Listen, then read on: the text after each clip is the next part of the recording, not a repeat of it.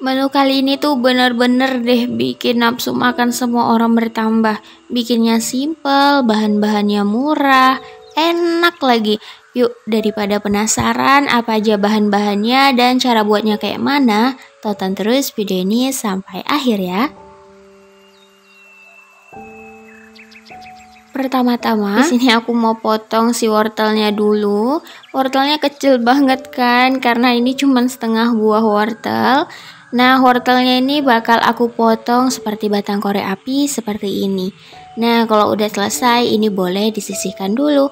Setelah itu aku punya satu buah labu siam. Sebelumnya udah aku kupas tapi nggak terlalu bersih. Yang penting aku udah cuci bersih. Nah, untuk labu siamnya ini bakal aku potong-potong juga sama seperti wortel, seperti batang korek api gitu ya.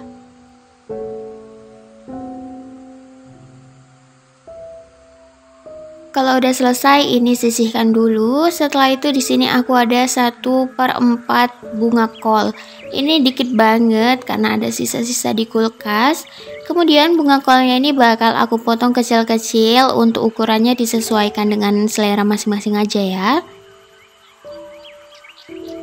Setelah itu aku punya sekitar 5 buah putren ataupun jagung muda, kemudian aku iris tipis-tipis menyerong seperti ini. Nah, untuk bahan selanjutnya di sini aku punya satu papan tempe, ukurannya itu kecil ya, kayak gini. Kemudian tempenya ini bakal aku potong-potong seperti batang korek api tapi yang super jumbo. Untuk bentuknya ini disesuaikan dengan selera masing-masing. Untuk ukurannya aku sarani jangan terlalu besar dan juga jangan terlalu kecil ya.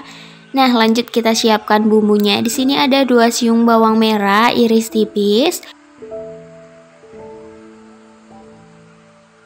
Setelah itu di sini juga ada tiga siung bawang putih. Bawang putihnya ini mau aku geprek terlebih dahulu. Setelah bawang putihnya digeprek, langsung aja dicincang-cincang kasar.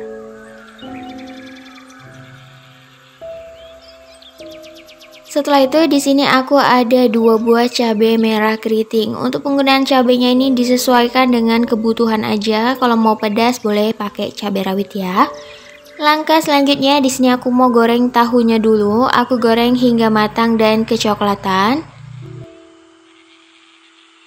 Kalau sudah matang dan kecoklatan, ini boleh diangkat kemudian ditiriskan terlebih dahulu.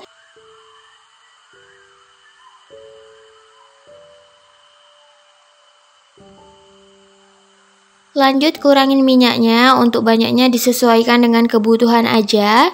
Kemudian panaskan lagi lalu tumis semua bahan yang udah dipotong tadi seperti bawang merah, bawang putih serta cabenya. Tumis sampai harum dan berubah warna. Kalau sudah berubah warna seperti ini, bahan-bahan yang udah kita potong tadi boleh dimasukkan kecuali tempe gorengnya. Ini diaduk merata terlebih dahulu. Setelah semuanya tercampur rata, boleh ditambahkan dengan secukupnya air putih kira-kira 200 300 ml. Setelah air masuk, ini diaduk-aduk sebentar ya, supaya bawahnya ini nggak gosong. Setelah itu, kita boleh langsung aja masukkan seasoningnya. Di sini aku masukkan 2 sendok makan saus tiram. Setelah itu ada setengah sendok teh kaldu ayam, sejumput garam, secukupnya micin.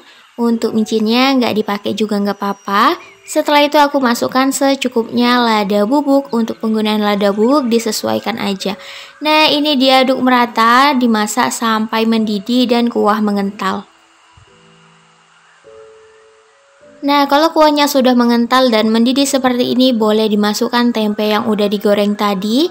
Aduk sebentar, masak kurang lebih 2-3 menitan atau sampai bumbunya ini meresap ke dalam tempenya.